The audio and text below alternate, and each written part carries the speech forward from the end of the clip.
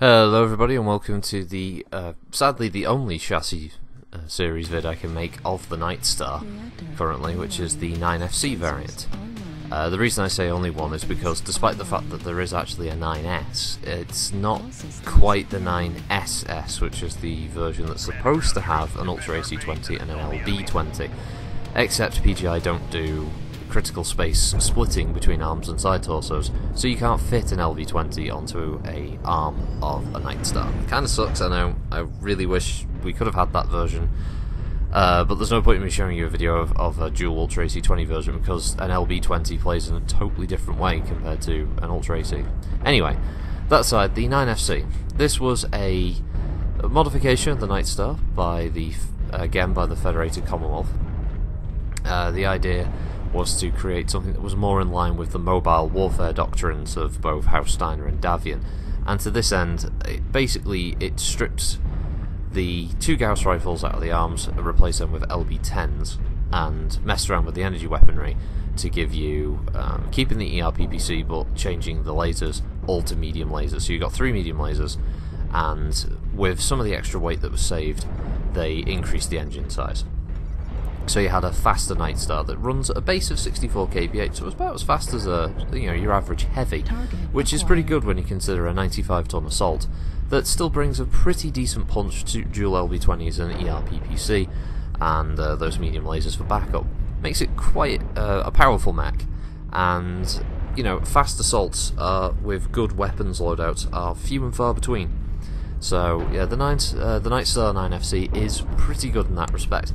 Now, obviously, in terms of MechWarrior Online, this is a slight change from the 9S. Uh, sorry, not the 9, 9J. Um, uh, essentially, by sacrificing one of its energy hardpoints to 5, it gains the ability to take an XL standard or Light Fusion Engine 400. It comes with an XL 380 standard, uh, which means your speed can be a lot higher uh, yeah, but uh, it, it, has the same number of ballistics. That's right. And just looking at Smurf here, just to double check my stuff.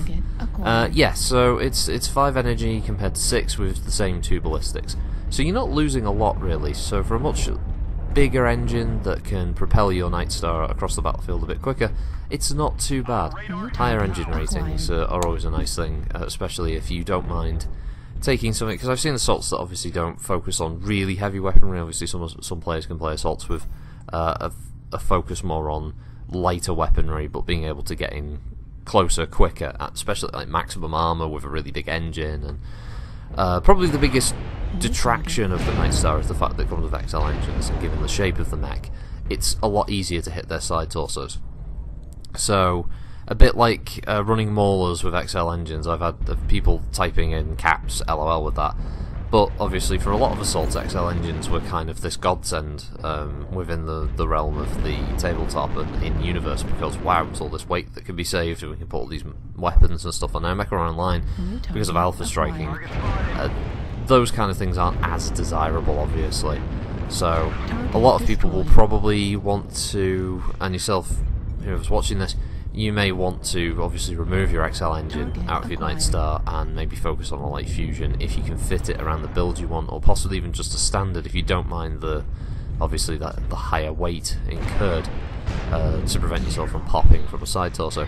Personally, for me, I've not had too many matches where the side torso is the first thing to go. Usually it's the CT on the mech, and if I do die, it's usually at a point where I'm being hit by so many mechs anyway. Once the side torso's gone, I wasn't going to live much longer anyway if I did have a standard or a light fusion. So it's not been it's not been a big issue for me. But then again, I guess my playstyle is I'm not as I'm not as frontline sort of face tanking people as as much as some people because obviously my builds are very different. And to talk about this match, what a godsend. Um, I, I, can only assume that uh, Adam Grayson in, in the Hunchback that ran out on its own must have been a disconnect or something. He must have crashed out because the Hunchback just it just goes out there, and unfortunately he very quickly becomes focused and dies. And I think a chunk of the team had followed into the area behind those um, canisters, the uh, the uh, liquid. Uh, it? Uh, I assume the li- are they liquid gas canisters, those ones, I forget. But um, yeah, there's a bunch of mechs behind those, and they're trapped because there's LRM mechs shooting at them, and they, they can't obviously poke out because myself and others are up on higher ground waiting for them to show their faces. Uh, the whole match was just a, a slow, horrible slaughter, and uh, it's it's one of those sad matches in MechWarrior Online. Although it's it's obviously it's nice to have a win, I always feel that it's it's one of those events that will put people off playing a game if these kind of matches happen too often to them. Uh, because nobody wants to play a game where it's not close or it's not a good fight or you don't feel like it could have it could have turned at any moment. So I felt sorry for them on that. But anyway, um, this version of the Nightstar I do quite like. Uh, I do like the higher speed, and I do. Uh, for me, I'm not as good with Gauss rifles. I always end up sort of pulling the shot, so I end up missing more often than not when hitting with Gauss rifles. I, I try to overcompensate for the the movement of targets, so I end up missing a lot more with Gauss rifles. So for me, this actually this build works better because dual LB10s are quite nice, uh, combined with. Um, the relatively low heat triple energy weapons there, and the PPC is always good for sniping. I, I like PPCs. So I would actually, personally for me, I'd recommend this over the standard Nightstar. But then, the main difference is literally one energy hardpoint between the two official variants. Obviously, there are other made-up variants of the Nightstar, and you do have the S, which is almost, almost the 9SS version. Uh, which is dual Ultra AC20s instead, which uh, has jump jets and all the rest of it. It's supposed to be based on a Solaris build. Um, if if PGI ever add a way of being able to do it with the LB20, obviously I will build it and I'll make a video about it. But um, uh, sadly, at the moment, I, I, just don't see the point of me taking the 9S out with with an L without an LB20. No, excuse me, without an LB20 because there's just there's no point. Uh, I won't be able to do. Um, won't be able to play it the way it's meant to uh, the way it was originally intended to be played. Because um, LB20s are a totally different playstyle. You lead targets, you try to get the cone of fire as minimal as possible. You know, the, the rate of fire is different from an Ultra AC20. It, there's a lot of factors, and yeah, it's it's kind of annoying, but what can you do when uh, when PGI haven't allowed you to uh, have that kind of build?